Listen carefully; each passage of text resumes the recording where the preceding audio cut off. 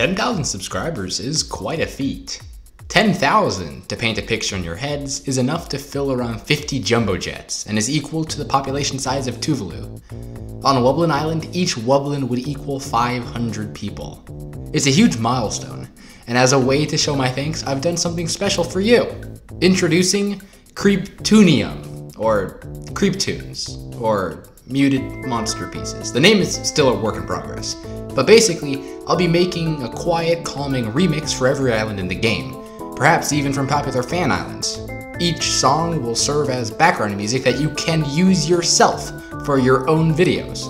Take the song you're hearing right now. This is the Psychic Island remix that will mark the project's debut. Get this, after I have released the few songs I've already created, I'll let you viewers vote on which island as a song next. I hope these songs end up getting used in other people's videos as they are intended, as these songs are meant to fill the empty space behind your voice and not be too busy like MSM's official tracks. So that's my big 10k announcement. Keep an eye and ear out for the new releases so you can download them and use them yourself. As for other news, the channel's character, the rather handsome Wubbox named Wiblix, talking to you right now, will be getting a makeover, more dynamic poses, and more interaction with both the human and the monster world. I'm very excited for the channel's future.